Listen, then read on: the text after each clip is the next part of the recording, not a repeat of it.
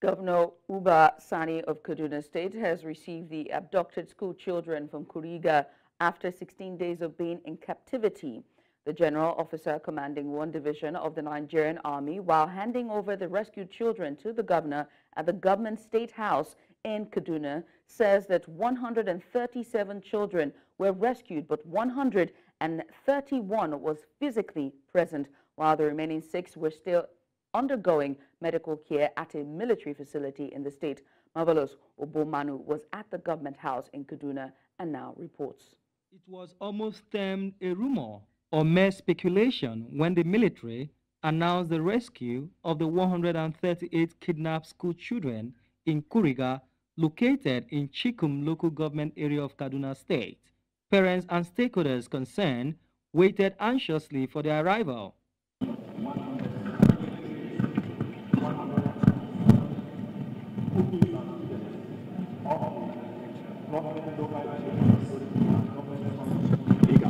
They are here present this afternoon and also at one division medical services and hospital. A total of 137 students of the government secondary and local education authority primary schools, Kuriga, in Chikun local government area of Kaduna State. Today, to the glory of God, all the children abducted are here back safely. The general officer commanding one division Nigerian Army, Kaduna, accompanied by other military and paramilitary agencies in the state, arrived with the rescued victims, revealing that both kinetic and non-kinetic approaches were adopted in the rescue operation. Meanwhile, the governor of the state criticized those asking for the specifics of the rescue operation, saying they should be contented with the rescue of the children and their safe return back to their families. The abducted Kuriga school children have, or were in the early hours of yesterday, Sunday, 24th March 2020, safely rescued after spending about 16 days in captivity. The students were initially received and administered first aid at the Nigerian Army Troops Forward Operating Base at Tansadao Forest in Zamfara State. I want to also caution our insecurity merchants and complete merchants in Nigeria to be cautious with utterances.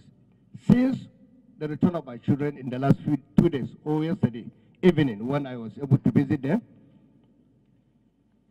a lot of people have been spending a lot of time coming with permutations on how these children were released, what happened.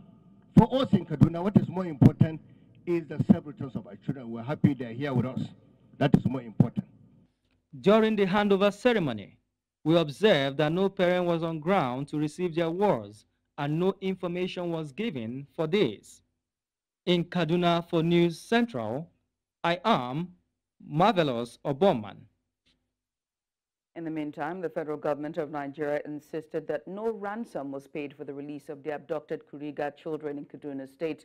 The Minister of Information, Mohammed Idris, who briefed State House correspondents after the Federal Executive Council meeting, said the victims secured their freedom through the concerted efforts of security agencies in the country. He said the Nigerian armed forces are upping their game and have developed a new strategy to ensure the security of every Nigerian.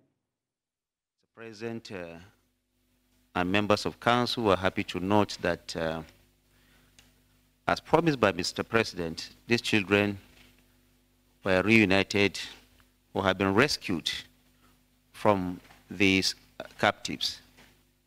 And as usual, and in keeping with the commitment of Mr. President, no ransom was paid. We are very grateful to the Federal Executive Council and Mr. President are very grateful to especially the National Security Advisor, the service chiefs, and all security agents who participated diligently in ensuring that these kidnapped children are united with their families. government is determined to ensure that uh, the lives and property of all Nigerians are protected at all time. And Mr. President has also charged security agencies to ensure that these kidnappings are brought to a halt finally in this country. Indeed, all those who are participating in these criminal acts will be fished out by the security agencies and will never go unpunished. Still with security matters in Nigeria, the federal government there says it has invited Kaduna-based Islamic cleric, and that's a Sheikh Ahmed Gumi, over his comments on the activities of bandits in the country. Now, this was disclosed by the Minister of Information and Orientation, Mohammed Idris, on Monday while addressing journalists at the State House, Abuja. Idris said Gumi is not above the law, noting that the government has deemed it necessary to invite him for questioning. The cleric had earlier offered to dialogue with bandits who abducted the school children from Kuriga Government Secondary and LEA primary schools in the Chikun local government area of the state. According to him, Tinubu must not repeat the mistake made by former President Muhammadu Buhari, who refused to dialogue with bandits.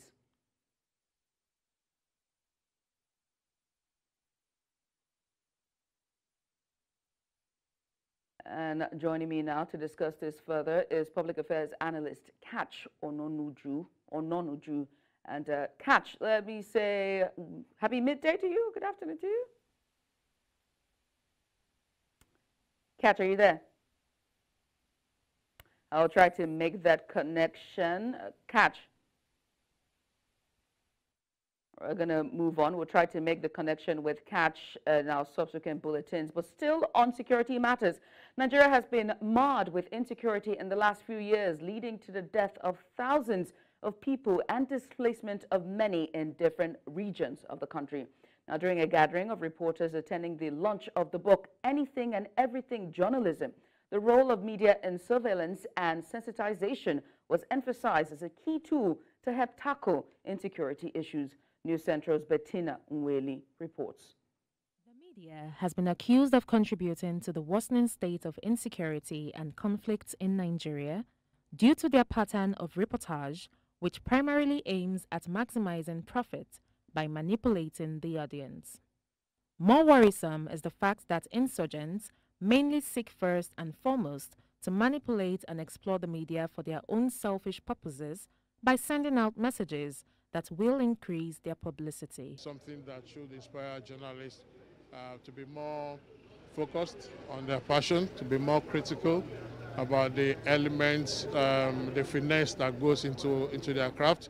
And I think much more importantly, to be able to build um, a new, what I'll call a new crop of journalists um, that will build a sustainable future for the profession. Even in the developed world, even in England, in America, if anything happens, even to the president, you can see that the um, Princess of Wales, she had cancer and it was announced.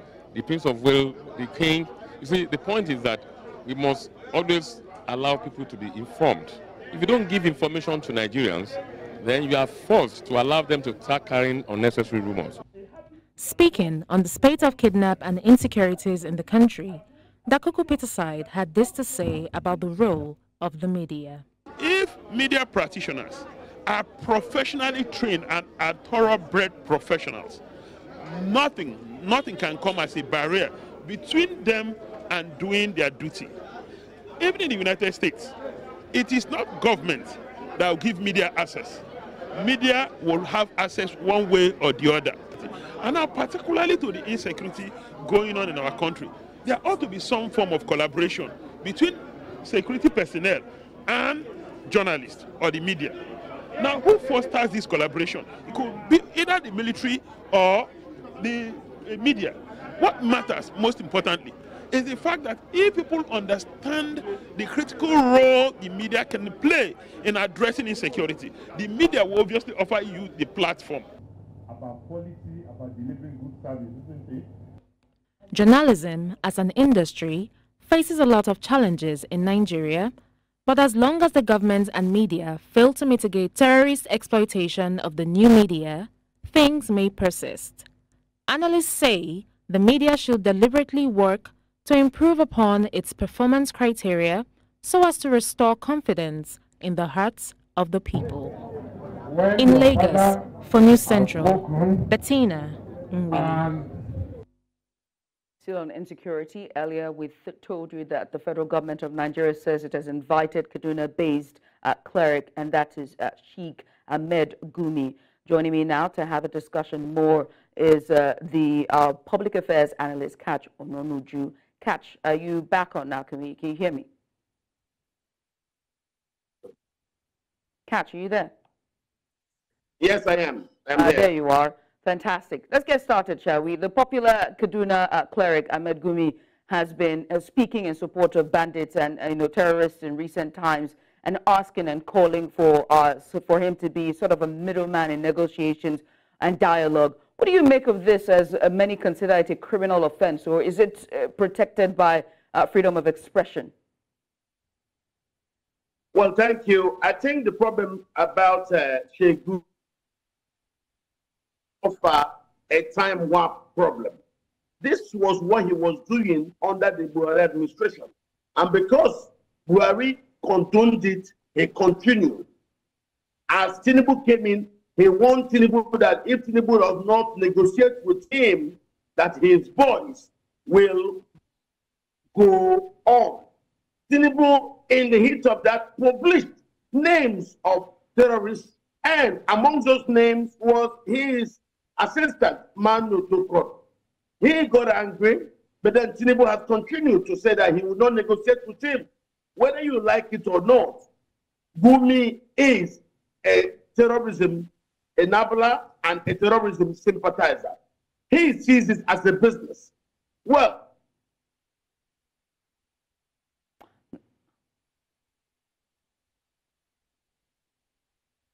Katch, Katch, are you there? We have lost him, but just a bit to understand that our analysts form their own opinions. That's not, it doesn't represent the opinion here at News Central. We give you the news and we speak to the analysts, and their views is that, that, that theirs alone. Katch, are you there? And while we try to make the connection, you're watching News Central now. We'll go on a short break. Katch, I understand you're back. Are you back on now? We're going on a short break. Stay with us. Don't go anywhere. Still focus on Nigeria and this time to the news of Binance as it continues to unfold. The federal government has initiated international efforts to apprehend Nadeem Anjarwalla, a key executive of Binance who escaped custody on Friday. Anjarwalla, a suspect in the probe into Binance's activities in Nigeria, reportedly fled using a Kenyan passport, evading security measures in place. Security agencies were left stunned by the escape, especially considering Anjarwalla was held in a secure location guarded by soldiers. Zakari Mijinyawa, head of strategic communication at the Office of the National Security Advisor, underscored ongoing efforts to apprehend the fugitive and investigate the circumstances surrounding his escape. He noted that those responsible for his custody have been detained pending further investigations. Still Binance, the Nigerian government on Monday initiated proceedings against the company, which is a cryptocurrency exchange platform, over tax evasion. The Federal Inland Revenue Service filed the charges at the Federal High Court in Abuja. The move is aimed at upholding fiscal accountability and safeguarding the nation's economic integrity. The lawsuit alleges that Binance failed to meet its tax obligations, including non-payment of value-added tax company income tax and failure to file tax returns. Additionally, the company is accused of aiding customers in evading taxes through its platform. The FIRS emphasizing that platform, that Binance, I beg your pardon, failure to register for tax purposes and comply with Nigerian tax laws constitutes a violation of legal requirements. And now to discuss this further, I am joined by Head of Operations Coin Coin Exchange, and that's Tayo Omidiran. Tayo, uh, let's get started, shall we? Uh, first of all, thank you so much for coming on. Now, the charges against Binance, it include non-payment of value-added tax, company income tax, and also failure to file uh, tax returns. But uh, can these be paid since it's never, you know, had a fiscal uh, presence in Nigeria? It's just a digital platform performing, you know, doing business everywhere. Hi, um, good afternoon. Thanks for having me. Um, yes, uh, Binance should pay tax, especially the value added tax, because they're providing uh, goods and services. Um, you you don't have to have a physical presence to be able to be charged for tax, as long as you're providing service. I mean, with the, you can correlate this with the issue of Twitter when um, Twitter I had to pay some uh, tax and levies for operating in Nigeria. It happens all over the world. Um, they they have to be taxed as long as they are making uh, benefits from um, the Nigerian uh, citizens. Mm. And also, let's uh, just put into uh, focus here that the charge that Binance is, uh, uh one of the charges is that Binance is, you know, complicit in aiding customers to evade taxes through its platform. Now, would Nigeria need the aid of the United States, uh, maybe, to enforce this and other claims? Yes, um, it's it's very funny that um, the issues Binance is having in Nigeria is quite peculiar with um, the issues Binance had with the United States of America. Um, most of the charges against them as um, the weak anti-money laundering um, system, um, lack of KYC, and um, the, they didn't report any suspicious activities, and which is similar to what um, Nigeria is charging Binance with arbitrage, um, data protection. So, of course, Nigeria can can look at the the ish, similar issues with um, the United States of America and take a cue from them because the the, the situations and um, charges are very very similar between both countries. So definitely, uh, the federal government of Nigeria would do a wise thing by um, reaching out to the United States. Hmm. And now you said that you know this is not the first time. It's very similar with you know their runnings with the United States. But will Binance pay outright, you know, or would they negotiate a sort of, you know, settlement? Let's try to project what will most likely happen. Or would they just call it quits since it has stopped operating in Nigeria? What are, what's your opinion on this? So the the Binance CEO um, got charged four billion dollars for as retribution for his case with the United States. While in Nigeria, we charged him ten billion. Uh, personally, I feel that's um, a bit far fetched. But like you suggested, um, there will probably be negotiations, and Binance will definitely pay, I believe, uh, similar to what they agreed to pay in the United States, about 4 billion to 5 billion. Because to be fair, they've made a lot of profits operating in Nigeria. Nigeria, again, has similar markets to the United States. We have about 33 million users um, who are interested in crypto. So uh, user appetite and investment appetite is quite high in Nigeria. So Binance would definitely uh, make good to make some of the payments. Probably not the whole 10 billion, but um, it would be wise for them to make the payments and then we apply to operate in Nigeria because Nigeria has a large market, second largest market in the world after United States for cryptocurrency and Bitcoin. Tayo Omidiran. He's the head of operations Coin Coin Exchange. Tayo, thanks so much for coming on and giving us some insights on this story. We'll move away from that now to Nigeria's federal government as it says that it is set to conduct a comprehensive census of the nation's education sector to help plan properly for its growth. Nigeria's Minister of Education made this known during a two-day capacity building training for desk officers of the ministry, including its departments, agencies, and tertiary institutions, saying that the current challenges affecting the sector will require proper data for planning. The role that education plays in the national development of a nation cannot be overemphasized. However, with poor educational infrastructure, inadequate classrooms, and teaching aids among other challenges, not enough data is available for effective planning to improve the nation's educational sector. We'll be Engaging and working together with our IT people to generate data on schools, all schools in Nigeria. If you saw the background of the Kuriga school, you would want to cry. It's not a very good sight to see. Now, that data will help us advise the state governors who are in charge of those schools, the conditions of those schools, so that they can move in and do the right thing. The data on teachers will help us know teacher-student ratio in every state, every local government, in every school.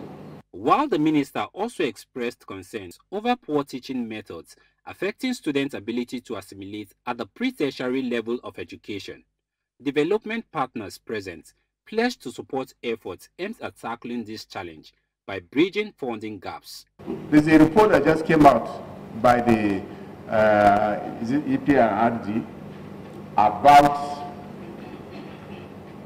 students or pupils at levels two and three, finding it difficult even to identify numbers and letters. But how can we come in? We can only come in when we have the necessary data. Because zones could differ, states could differ, schools could even differ. Our, our strategy is to make sure that the fi uh, international financing, the technical assistance, the best practice from around, around the world is available. This capacity building training workshop focused on implementation, collation, harmonization and reporting of ministerial deliverables. The minister tasked participants to collaborate and help restore the glory of the nation's educational sector. In Abuja for New Central, I am Idonk Joseph. Now move on to food security as concerns are simmering in Nigeria. Soaring farmland costs are squeezing out smallholder farmers, the lifeblood of the nation's agricultural sector. Now compounding this challenge is the specter of insecurity with violence dis disrupting farming activities and casting a shadow over food production.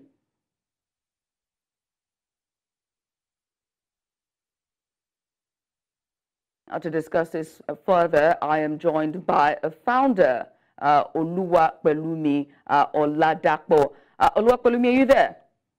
Yes, I'm here. Good afternoon. Good afternoon. Can you help me say your company name so I don't butcher it? Phenolysis Integrated Services. Fantastic. All right, so let's get started, right? The World Food uh, Program, WFP, just disputed that over 785 million people globally do not have enough food and over 47 million people in 54 countries, including Ethiopia, Yemen, South uh, Sudan, and even parts of northern Nigeria uh, at an emergency level, a worse grips of, uh, of uh, farming. Now, this must be scary, or in fact, it is very scary. But how did we even get here to begin with? First of all, um, we lack direction, or we, we will not say the leadership lack uh, will to prosecute this. So that is how we get here. Uh, we take farming or agri as a leisure, not as a business or as a career. Mm-hmm. I can remember back in secondary school, you just have farm practical and you just everybody just go to farm and there is no reward after it, whatever the labor is. So there is no reward after it. So that's a whole lot of issue. And some of us see farming as a way of being enslaved or an hard labor. So there is no way whereby you want to say, oh, let me go ahead and invest in farming or let me try and develop a career in farming. But nowadays, I believe individuals are taking a lot of uh, new, innovative, and taking it forward. We are bringing in technology into farming. So I think um, we can do much more if the government should create like a school program and a and see the agricultural industry as a business and as a career. Uh, young people will have interest in it because I believe the way you wire their thinking matter most a lot. So if this can be done, we, we could have a, a, a, a, world whereby there will be sufficient food in later years to come. So, so capture the youth and change the mindset uh, of the youth towards agriculture, right? Um, but this is urgent, okay? This is a matter of urgency uh, in terms of, you know, farming and the number of people and the part of Africa and even part of Nigeria that's at stake here when it comes to tackling, you know, food uh, security. So what must be done urgently to address, you know, or arrest this trend? Firstly, the, the government needs to come up with a law whereby we could provide farmland for people to farm and also provide implement. I'm not talking of tractor or giving hose. I'm talking of providing modern technology to farm. And also the government to also encourage people that are already in need uh, could provide a storage facility for them whereby people could store their tomatoes, for example, store their ewedu, store their vegetables, store, I mean, a storage facility and a processing facility should be provided. If this is well done, the government could also create, a, I mean, should have an emergency roadmap uh, whereby they could uh, give a soft loan, not just giving soft loan, but monitor uh, how this money is being distributed and how it's being implemented. Several loans has been given several times and does not bring forth any result. At the end of it, that is how we find ourselves here. I think the government must be ready to have a will Right. The will first, then have the mindset and the technocrats to implement this strategy. Technocrats are really important because they are the stakeholders in changing the trend that we see. Many thanks to you, Oluwa Pelumi, for coming on. Appreciate you for doing this with us. My pleasure. Thank you so much. This uh, Central now. We'll take a short break. When we come back on the other side, more. Don't go anywhere. And we continue News Central now in Senegal, where Bassirou Diomaye Faye is in his in his first public appearance since securing the presidency, has expressed his firm commitment to steering Senegal in a new direction. Faye emphasized that his election victory symbolized a decisive break from the existing political order, signaling a desire for change among the Senegalese people. Addressing concerns about international relations, Faye reassured foreign partners that Senegal would remain a steadfast and trustworthy ally for nations seeking constructive and respectful collaboration. He pledged to foster virtuous and mutually beneficial partnerships while upholding Senegal's interest on the global stage. In a conciliatory gesture, Faye spoke of his intention to mend divides within Senegalese society, emphasizing the need to unite hearts and minds for the nation's collective well-being. He promised to diligently work towards fulfilling the aspirations kindled by his election, striving to translate promises into tangible progress for the Senegalese populace. And now to further discuss this, I am joined by Executive Director Not Too Young to Lead Initiative, and that's Amb Ambassador Elvis Akpobi. Ambassador, uh, it's good to have you join me. Uh, let's get started, shall we, very quickly. What factors do you believe contributed to the electoral process of uh, Faye? He's a relatively young candidate at 44 years old. I would say is is kind of mid-age. It's not too young though. And in the recent, uh, uh, just in the recent Senegalese, you know, presidential elections, what are your thoughts?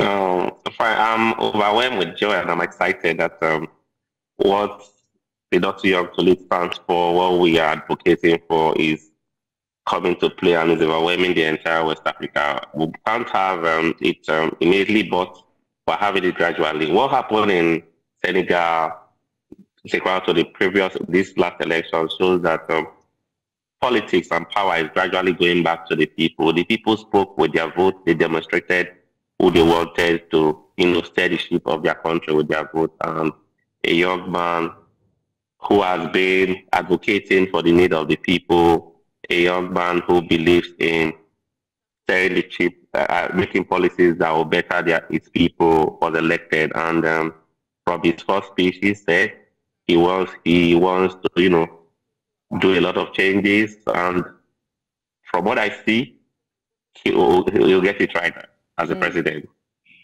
And and very very bold and strong speech there, and uh, you know it's uh, it tilts towards um, what we hope for for Senegal. Now all eyes are on him and also on Senegal as well, because I mean the statements that was made there in his uh, in his speech there was very very profound.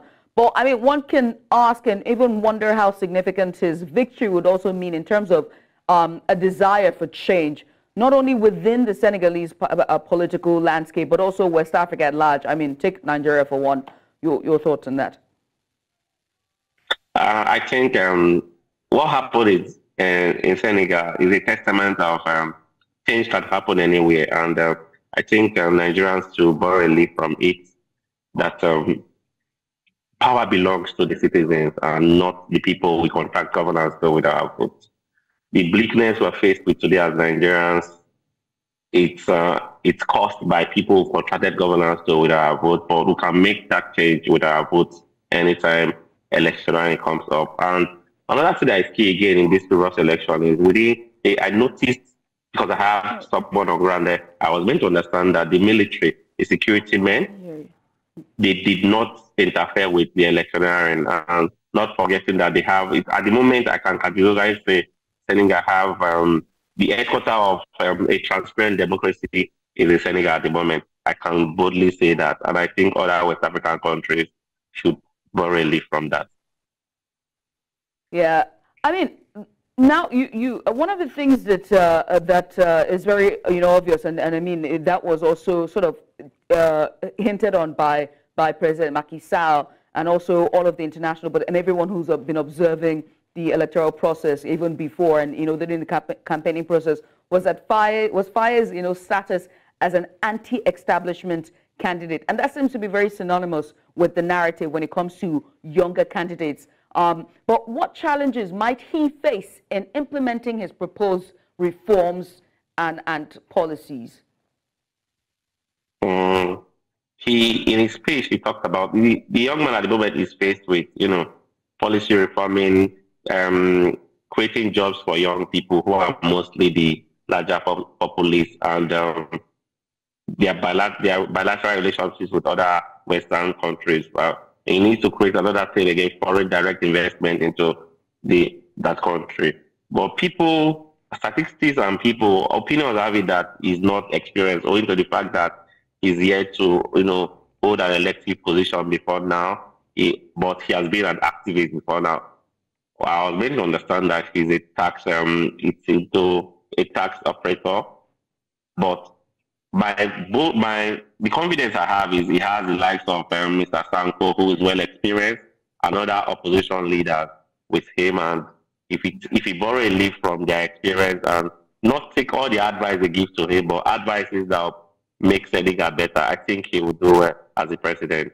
And one thing he must bear in mind is his actions and inaction as a young, as one of the first elected young presidents in West Africa. We either open doors for other young presidents across West Africa. So we're looking forward to him doing well. We're going to support him at the civil society organizations, and I will pray he takes uh, Senegal to a greater height.